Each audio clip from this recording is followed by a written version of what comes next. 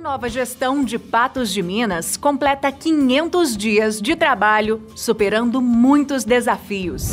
Um novo tempo com mais qualidade de vida, com obras que deixam Patos cada vez mais bonita. Um novo tempo para a cultura, esporte e lazer, com a reforma do Conservatório Municipal, a realização de eventos esportivos e do Renascer Natalino.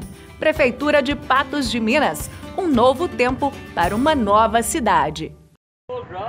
Só no Carmo do Paranaíba, boi fazendo compra. Não, só, já pega aí. Pegou. Ó, moleque é doido, hein? Aí, moleque. É, vai. Ó, boi tá sorto. É, é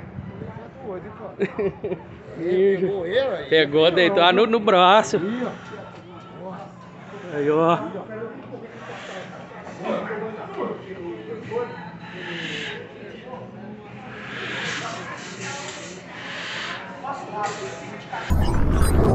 ó.